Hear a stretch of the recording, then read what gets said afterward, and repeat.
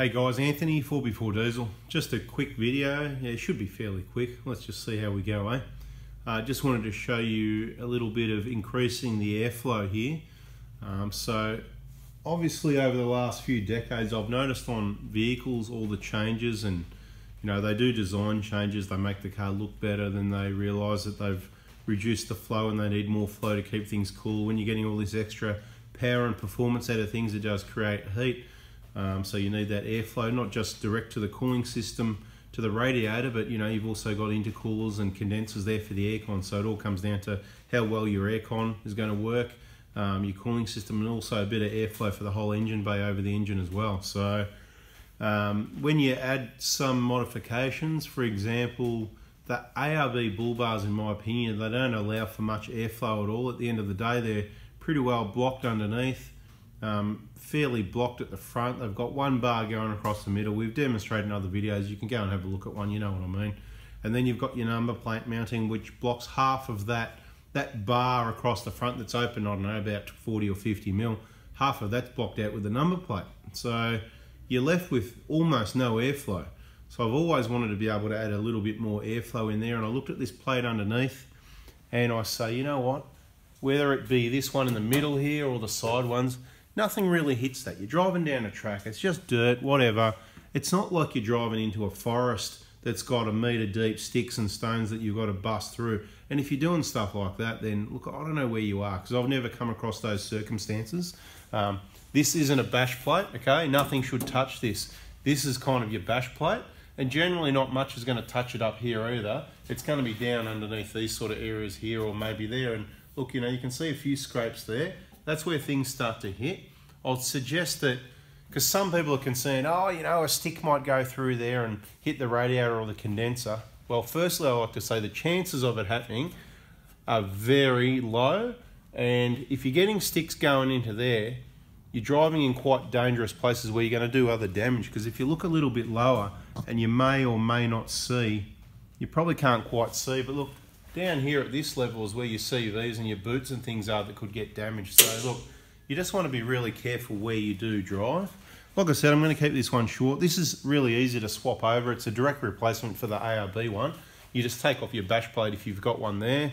And um, because this is retained by the same bolts through the bash plate, right? And there's four bolts along the front here. So you get those out. You may need to have to replace the nuts because they're the cage style clip-in nut thingy Duvalakis, we'll call them, they're pretty crap because they get full of dirt and they spin when you go to take them out. So you just replace the M6 bolts here with um, nuts and it's probably wise to use Nylox or put some Loctite on those because they do quite often on outback trips and rough roads they do um, come loose and I have seen these plates here down wrapped around underneath there. They flatten out pretty well actually.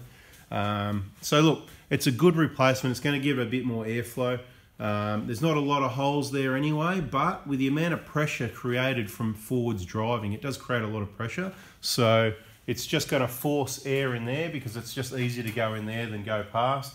And this bash plate's pretty cool as well because it's also got some similar sort of holes as well, allowing some airflow to the sump and the bottom of the engine, which the standard bash plates, they do have an allowance for that to cool the oil in the sump is also very important because that oil not only lubricates the engine, it helps to keep things cool as well. So like I said, I'm going to keep this one short. I think uh, my battery's about to go flat anyway.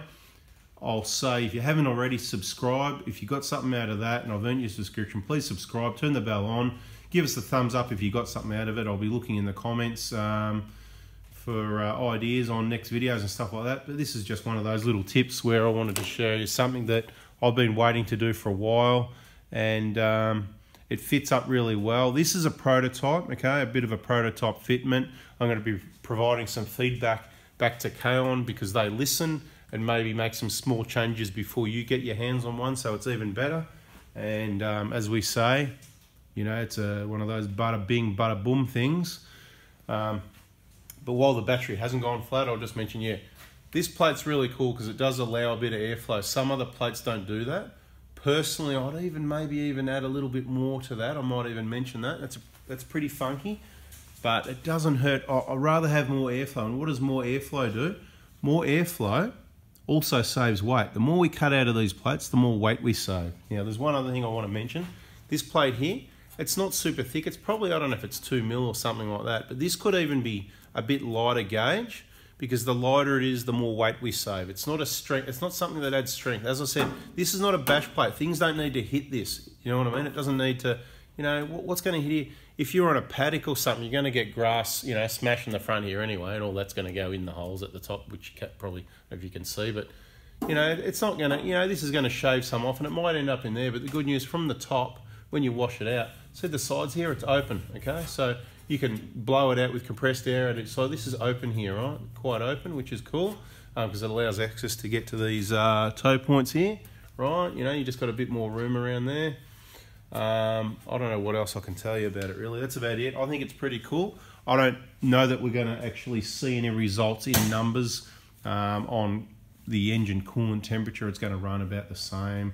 Um, the aircon we may notice, you know, the aircon working it better. We've noticed in other vehicles where um, dirt and bugs and debris block up the condensers, the aircon efficiency can go down really low. Um, so by cleaning those out makes a big improvement. Feedback from customers, not just what I think. Uh, so that is cool.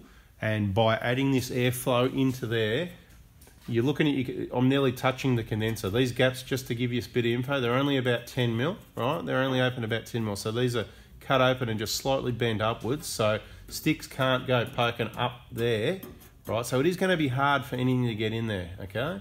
But you're looking at your condensers the first thing. So you've got that protection.